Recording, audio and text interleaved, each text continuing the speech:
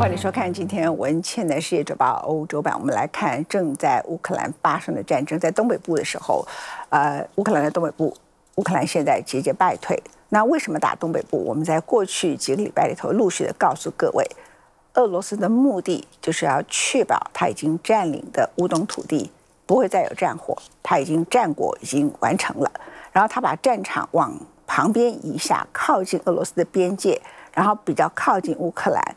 没有到中部的地方，但是比较离开乌东地区，就算东北部这里。然后重点就在第二大城哈尔科夫，哈尔科夫旁边还有非常多的村庄，那么称之为叫做战争的缓冲区，也就是使得乌克兰已经被俄罗斯占领的地方不会发生战争。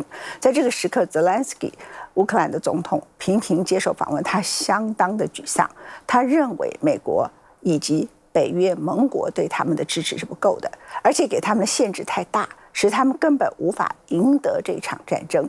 美国拜登政府现在内部在激烈的辩论，可不可以允许乌克兰使用美国或者北约提供他们的武器，直接攻击俄罗斯本土？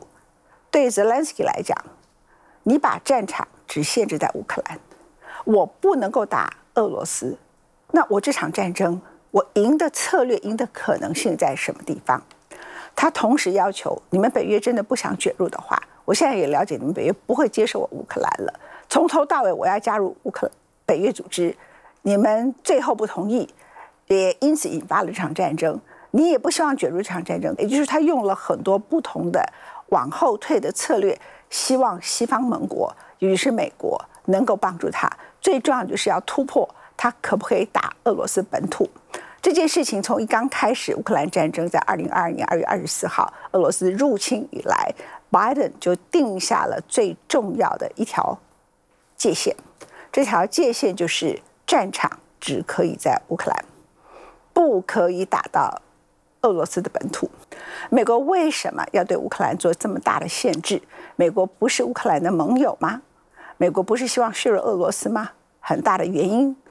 后来在外交政策期刊上头公布了背后的协商，当时的协商也是由美国中情局局长 Burns 所做出的协商，就是美国用把战场限制在乌克兰，交换俄罗斯承诺绝对不会动用核子武器，不会动用核威胁，所以这场战争呢，乌克兰没有面临核威胁，俄罗斯没有动用它最精锐的，比如说。战术核武到目前为止没有动用，理由就是因为美国要求乌克兰遵守这个事情，这是美国对俄罗斯的一项承诺。但这个承诺使得核子战争没有发生，使得美国跟俄罗斯不用发生核子大战，北约国家也不用面临人类第一场核子战争，但是却使得乌克兰绑手绑脚，节节败退。军事分析家表示，对乌克兰来说，目前俄乌战况是自2022年俄国入侵以来最严峻的。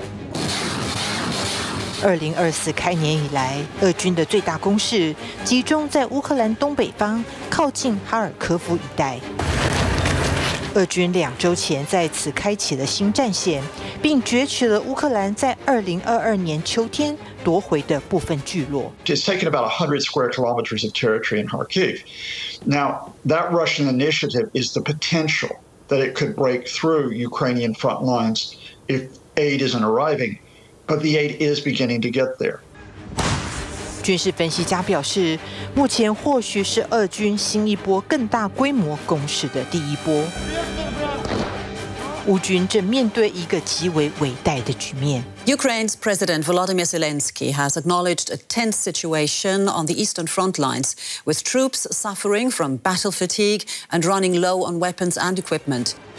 乌克兰总统泽伦斯基急迫到在受访时表示，他怀疑西方盟国根本不希望乌克兰战胜。We are in a nonsense situation where the West is afraid that Russia will lose the war and it doesn't want Ukraine to lose it. Because Ukraine's final victory will lead to Russia's defeat. And the final victory of Russia will lead to Ukraine's defeat. 泽伦斯基二十号接受《纽约时报》专访时，更质疑：当俄军在前线发动凌厉攻势时，何以西方世界推迟提供乌克兰军火？他驳斥万一俄国战败，恐引爆核战的隐忧，呼吁美国和欧洲做出更多努力，协助乌克兰抵御俄国，并提议北约派出战机从北约国家领土出动，在不跨入乌克兰领空的情况下。击落俄国飞越乌克兰领空的飞弹。То у мене питання: а в чому проблема? Чому не можна збивати? Це захист, так. Це напад на російську ні. Ви збиваєте російські літаки і там гинуть російські льотчики, російські пілоти? Ні. Так а в чому тут питання щодо втягування країн НАТО в війну? Немає такого питання. Це захист. 他认为，只要北约战机不跨越乌克兰领空，就没有与俄军直接战斗的风险。但分析家指出，若北约直接参战，将引发俄罗斯报复，因此西方国家一直抗拒这个做法。泽伦斯基恳切请求的另一个重点是提供乌克兰更多武器。 以及更多 F 十六战机与爱国者防空系统。We need at least seven Patriot air defense systems. I won't say what we have in addition to those systems. But I believe that we have only about 25% of the air defenses we need.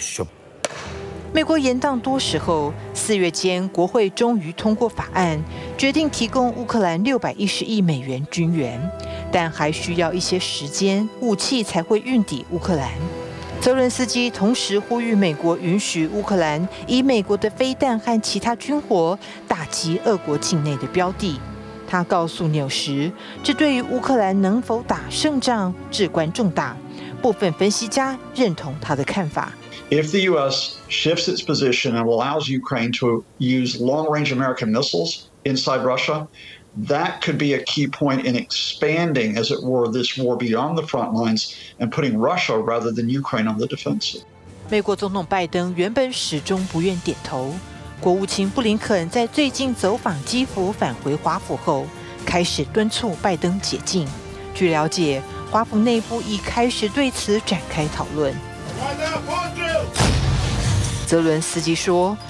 唯有利用西方盟国提供的武器，摧毁俄国境内的后勤补给枢纽，甚至击落俄国战机，乌克兰才能有效抵御目前俄军在乌克兰第二大城东北部的哈尔科夫的攻势。”泽伦斯基告诉纽时：“乌克兰可以看到俄军发动攻击前，在边境大量集结兵力，但却无力回击。”军事分析家指出，目前乌军处于节节败退的窘境。At this point, Russia is clearly on the offensive. Uh, the Ukrainian forces are underarmed, undermanned, uh, and in a state of retreat right now. The Ukrainians are faced with severe losses on the battlefield, losing ground on the battlefield And Russia is clearly the one on the offensive right now.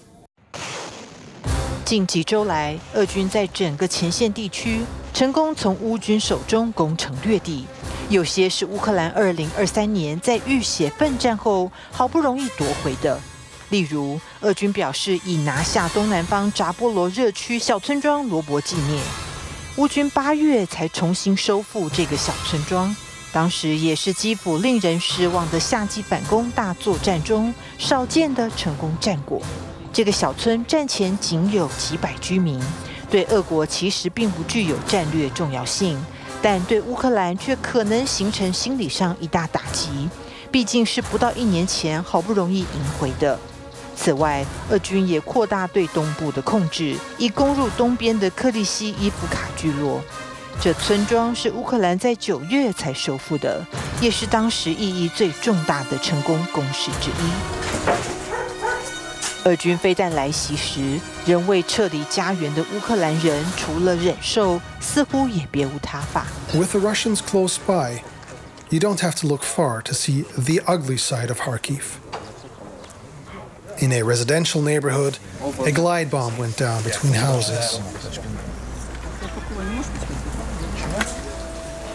Homes were destroyed. 分析家指出，俄军新一波攻势的目的在于让乌克兰以捉襟见肘的兵力和武力更为薄弱，让俄国更能轻易攻破乌克兰防线。照此态势，未来几个月，俄军可能将继续扩大赢面。面对此种局面的乌军，恐怕难免士气大伤。不过，部分西方盟友正对乌克兰释出他们乐见的正面讯号。本月初，英国外相卡麦隆表示，乌克兰可自由使用英国所提供，包括暴风阴影、长城飞弹等军火。他认为乌克兰有权以西方提供的武器，在俄国领土拦截其飞弹。法国总统马克宏日前也表示，倘若俄军突破乌军前线，且乌克兰提出要求。不排除派遣西方的地面部队至乌克兰与俄罗斯作战的可能性。两人的发言都引起莫斯科当局的愤怒。Russia has begun tactical nuclear weapon drills near the border with Ukraine. Analysts suggest that the exercises are designed as a warning to Ukraine's Western allies. 俄罗斯在其南方军事区举行第一阶段演习，演练的武器包括超音速飞弹。自开战以来就不断以核武恫吓的俄国，这会明显是在警告西方世界不要进一步介入战争。所谓战术核武也被称为非战略核武。A tactical nuclear missile is not the kind of thing that was dropped on Hiroshima or Nagasaki. It can be very, very small. As a US missile expert told me today, Tactical nukes are designed to take out brigades of infantry, not entire cities. So, what they're doing is they're practicing getting nuclear warheads onto mobile launchers and missiles and then secretly moving those, mo- those missiles into position. And I can tell you, the West is watching because we want to see how long it takes them to get these missiles ready to fire. 没人想见到核战爆发，俄国的演习无疑升高了局势的复杂性。但在乌克兰面临关键时刻之际，美国和欧洲国家的态度却可能决定乌克兰能否得到所需的支援，进而扭转劣势。